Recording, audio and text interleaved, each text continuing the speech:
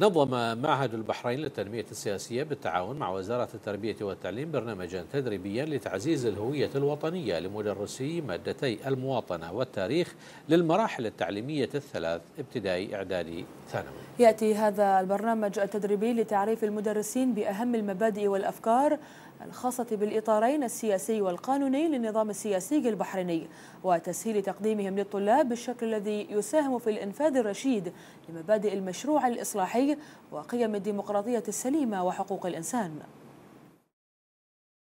لم يكن الاهتمام بصقل مهارات المعلم أو المعلمة بمنأى عن تلك الأولويات التي تنهض بتطوير العملية التعليمية ككل إلا أن تعزيز الهوية الوطنية للمعلمين تجسد لها مساحة واسعة في برنامج معهد البحرين للتنمية السياسية الذي أطلق بالتعاون مع وزارة التربية والتعليم لتعريف مدرسي مادتي المواطنة والتأريخ بأهم المبادئ والأفكار الخاصة بالإطارين السياسي والقانوني للنظام السياسي البحريني.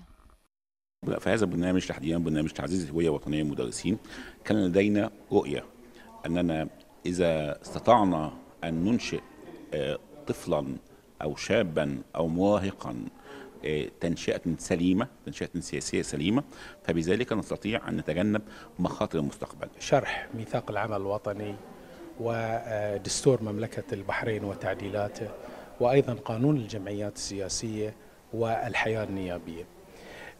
كل يعني كل ذلك يتم بتسلسل قانوني مبسط للمدرسين مرتبط بتعزيز الهوية الوطنية وكيفية عكس كل هذه القوانين بشكل مبسط لأبنائنا من الطلبة في وزارة التربية والتعليم.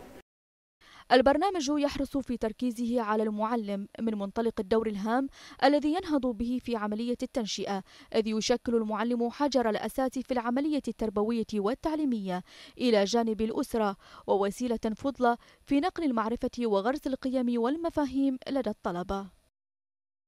هذا البرنامج هو فرصة جيدة للمعلمين من أجل تنمية المهارات عند المعلمين من أجل تعزيز الهوية الوطنية لدى الطلاب.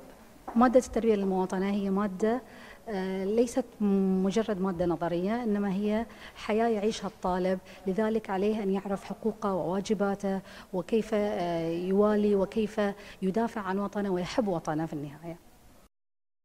برنامج تعزيز الهوية الوطنية للمدرسين هو أحد الجهود المتواصلة التي يسعى من خلالها المعهد إلى تنشئة أجيال قادرة على تحمل المسؤوليات الوطنية والمشاركة الإيجابية في دفع جهود التنمية والبناء. إيمان شرف لمركز الأخبار تلفزيون البحرين.